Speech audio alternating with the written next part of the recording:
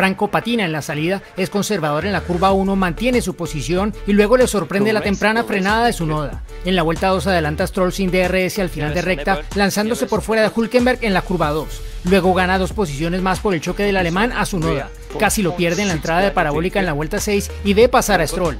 Franco dice que está perdiendo la parte trasera, aunque habla muy poco en la radio. Su parada en boxes sale bien. Le piden pasar balance de frenada hacia atrás, pero él lo refuta y lo argumenta. A 28 del final, adelanta a Gasly, luego a Bottas y avanza más con la parada de Ocon. Pide ayuda para rotar el coche en las curvas lentas, sube un lugar más por la segunda parada de Alonso, quien lo adelanta a 10 del final. Le piden rodar en 24.6 y lo hace, pues el líder Leclerc se acerca y necesita acabar en la vuelta del líder para aprovechar la penalidad a Ricciardo. En la última vuelta le piden usar el modo 5 y el botón de overtake en tres ocasiones para ganar aceleración. Franco marca su mejor de carrera. Okay. Good job, good job. P12.